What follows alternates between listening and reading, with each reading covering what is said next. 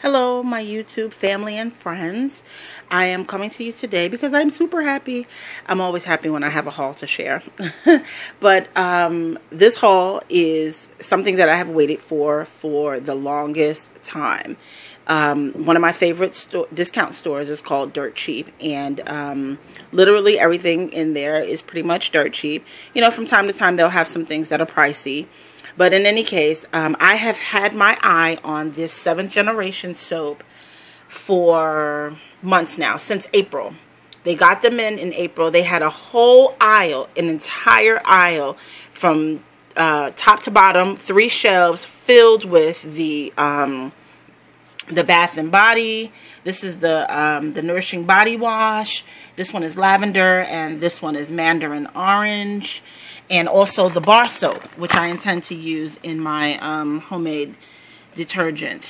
But, um, so I've had my eye on it, so I'm really happy today that when I went back, uh, it was 80% off and it started at 40% back in April and I just refused to buy it at 40%. At 40%, I mean it's $8.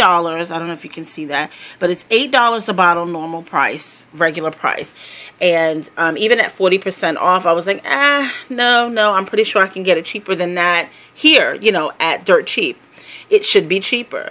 So anyway, uh, we're in dirt cheap probably twice a week because no, three, four times a week because it's right around the corner from my son's um, taekwondo class. So we're actually in there all the time. So every time we stop by, I would always check and send one of the kids, "Hey, run down the aisle and see if um, see if my soap went on sale yet."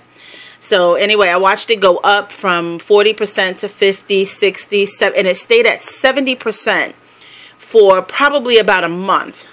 And I still refused to buy it. But anyway, today I, I walked in there today and it was 80% and yay! I'm pretty sure you guys can understand and um, you know that feeling. So it was 80%, which isn't bad because at um, 80% off, 7.99 was a dollar sixty. So I paid a dollar sixty for this body wash. I mean, this is awesome. Okay, so I only picked up two, four, six, eight. I picked up eight eight bottles because there's still three there's still one whole aisle three shelves filled with it. And i know that it's going to go down even cheaper. No one was buying it. For months and months and months it sat there untouched. No one would begin to buy it. And so i know that it can go down even cheaper. But i went ahead you know at a dollar sixty a, a um, bottle. That's still not a bad price. So i went ahead and purchased a few anyway. The bar soap, the same scents, lavender and orange. Uh, it's $3.99 regular price. I got the bar soap for 80 cents. So even though I refused to buy it before at a dollar, um, 80 cents is not so bad. And I know that it can go down even further. So I'm really excited about, you know, um, coming home with this mini haul from Dirt Cheap. And, um, uh, you guys may not know this, but uh, because I haven't shared it just yet, but I've decided to start a new endeavor. And what I'm thinking of doing, I need some, you know, um, some kind of play money type thing. So, what I've decided to do is start a side business aside from my home daycare just so uh, we can take trips and you know have extra money for um, vacations and all that other type stuff you know, it's very difficult to do those things on my budget, being a single parent and single income. So it is very tough. So, anyway, um, I haven't shared this with my Facebook friends and family just yet, and I'm holding off just a little bit. But anyway, I ordered a sewing machine from Amazon, and um, it'll be here next week. So I'm super excited about that. I do not know how to sew. No, let me rephrase that. I don't know how to sew on a machine. I remember taking home ec back in high school, and I remember doing it once or twice, but am I proficient at it? Absolutely not. Okay. The only term I remember is foot pedal and bobbin. Okay. That's it. oh, oh, wait. Oh, there's something about a foot feed or something like that. I don't know. But anyway, I ordered a machine and um, I'm super excited to start my uh, business of making cloth diapers. And I chose cloth diapers as my new endeavor because when uh, I sold my son's cloth diapers on Craigslist a few years ago, uh, when he first started going to school, he went to uh, Pritchard Preparatory. You know, he went to um, a prep school, and um, I needed some extra money for uniforms and all this other stuff. And he was four years old at this time, and so I'm holding on to. This was before I homeschooled, of course. So I'm holding on to all his diapers, and I had goo gobs of these diapers. I have one left I used several different kinds. My favorite was the G diapers. So I kept this one just kind of, you know, as a keepsake. And, um, you know, my little baby is not this small anymore.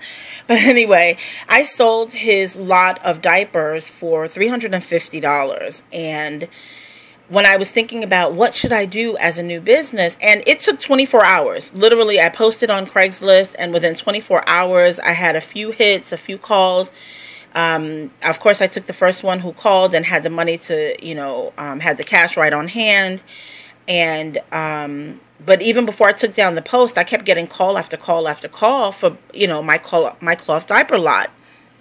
And so, you know, just this was years ago. My son is seven now, so he was four at the time. So this was three years ago. And, um, anyway, so as I was thinking about what should I do to make a little extra money that's going to have a quick return, where one, I'm not going to spend an, an, a whole lot of money um, starting up on startup costs, and two, I'm going to have a quick return. Three, if I decide to stop doing it, you know, no love lost anywhere. You know what I mean? So I decided to do the um, that you know um, brought to mind when I sold his diapers, how quickly they sold, how quickly everyone loved them. What I did to refresh his diapers because they were um, gently used, very loved and gently used, um, much like this one. And I had tons of them. He had them in just about every color. Every time there there was a new G diaper color or boy pattern, I bought it, and I paid. Um, the starting price was about $17.99 per diaper for the plain ones, and for prints, they were $21 for print. So he had several in each size in every color that there was for boys. So um, what I did, um, like I said, to um, sort of re- regenerate the diaper and bring more life back to the diaper so that they would sell, was I bought some appliques from uh, Walmart. And just cute little appliques and I applied them, ironed them on, and I actually I applied some um, patch attach first to reinforce it, and then I ironed it on, and so um, and then I uh, sewed the ends of it so that it would be secure. But anyway, um, that took me probably per diaper took about 10 minutes per diaper to really do. It really wasn't hard to do at all, and they sold uh, very quickly, as I stated before. So. Um, now I'm starting from scratch basically. I have never made a cloth diaper. I've always bought my son's cloth diapers. So, um, and this is a hybrid. If you don't know anything about G diapers, let me see if I can open this for you. If you haven't seen this, this is this is what they call a hybrid diaper.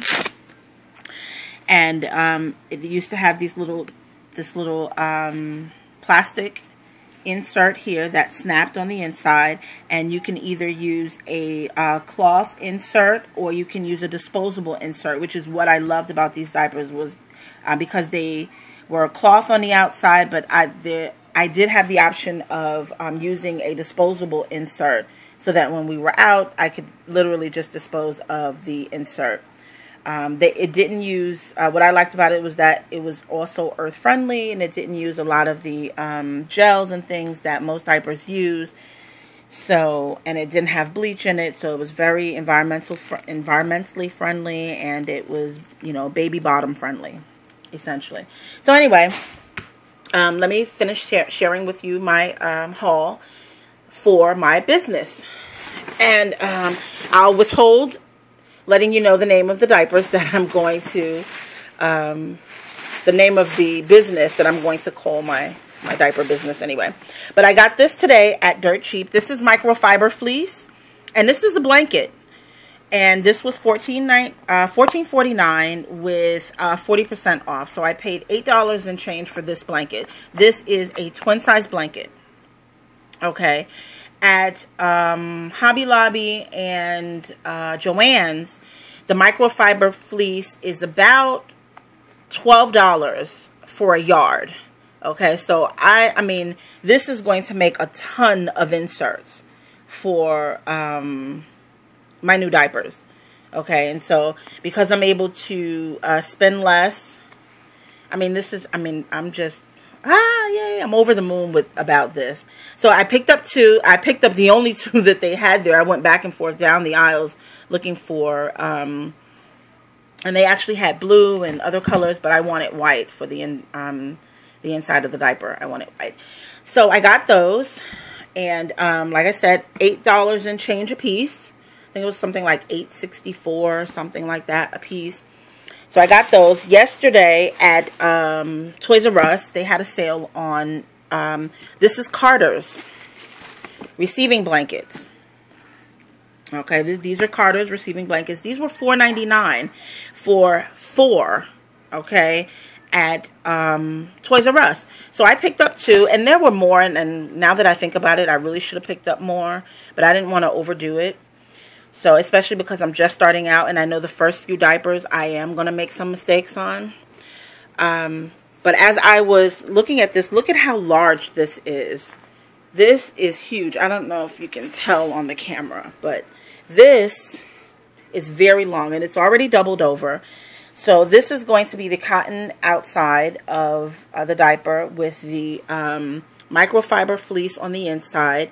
This, the diapers that I'm going to start making first, you will have to use, um, well, my clients will have to use a PUL over them.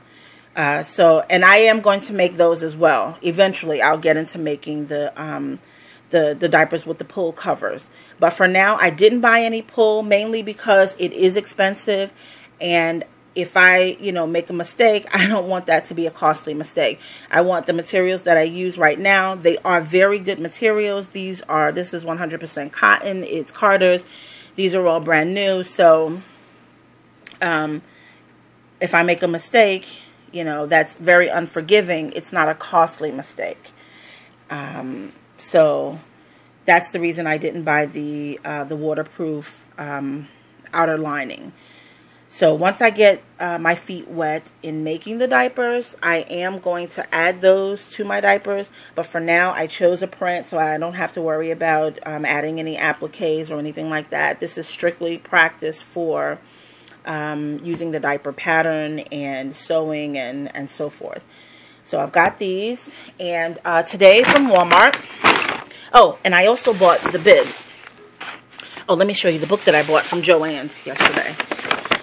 I got this book from Joann's, Cloth Diapers Made Easy. And basically it came with, where are the, uh, yeah. It came with two cloth diaper patterns for small, medium, and large diapers with the soakers on the inside. So there are two different types of diaper patterns here. And at Joann's, they have a, um, a line of cloth diaper making materials that they call Babyville Boutique. Okay, they are costly. And because they cost so much, my diapers would have to be would have to um, be priced very high. So they would be very pricey, and I don't want to do that. I basically want to be able to sell diapers at an inexpensive, um, purchase the materials inexpensively, and be able to offer a reasonable price diaper um, a quality, reasonably priced diaper to my clients, okay, and still make profit. Let's, I mean, let's not forget why I'm doing this. I am doing this to make a profit. So, um, but I don't want to have to gouge the prices to make the profit. Is my point. So, um, this is my idea. I'm gonna um, do this, and we we are also going to do bibs. I'm gonna try my hand at some bibs. So this is patterns for bibs. Today I picked up, my sewing machine won't be here till next week, sometime the beginning of next week. So um, I picked up this little hemming kit from um, Walmart. And it was only $3.50, $3.30. It was on clearance. And the, the purpose of this wasn't because I needed to hem something, but I needed this um, hem, hem gauge that's in here. And I also needed the uh, stitch remover. I, you know, I finally realized what that was. I used to call it the stitch pulley outy thingy. no, but um, it came with a lot of different accessories that I can use. Uh, so I thought that was good to have at 330 $3.30. The other thing that I bought was the plastic snap fastener pliers kit. These are what I'm going to use on the diapers, the, the snaps. I am going to do Velcro. I could not find the kind of Velcro uh, tabs that I needed for the diapers at Walmart. And um, so I just went ahead and bought this. So I'm going to try to use those. And I've got the braided elastic to go in the, the legs of the diaper. So I bought a few of these. Oh, that's not it. But I bought, how many did I buy? I thought I bought more than that. Okay, I think I bought three or four of these somewhere. There's another one here somewhere. But, okay, I, oh yeah, there's four. Okay, so I've got enough elastic to um, go around the edge of the diaper and the, um, the legs of the diaper. I am going to try to make pocket diapers. Okay, so I got some um, thread with the colors that, you know, for the receiving blankets that I have here. I've got the Mark Be Gone marking pen, and I just kind of threw these in. I don't know what I'm going to do with these yet. Um, I don't think I'm going to use these for the diapers, but they were 50 cents, so, and they're buttons. They're so cute, and I just thought, well, you know, 50 cents, pick them up, might do some arts and crafts with them or whatever, pick those up. And I've um, bought some all-purpose needles for hand sewing, so that um, it's pretty much it. That concludes my haul for today and for yesterday. And I am super excited about uh, my new endeavor. So please, if you have made cloth diapers before and you have some wise advice for me, some quick tips, some, you know, suggestions on um, how to, the best way to go about this, if I can avoid some pitfalls that you encountered, um, during your um, cloth diaper business, please let me know. And um, I'd appreciate it. Comment. Um, and I will try to get back to my comments to to answer all the comments and so forth. But thank you so much for watching. Wish me luck. Bye bye.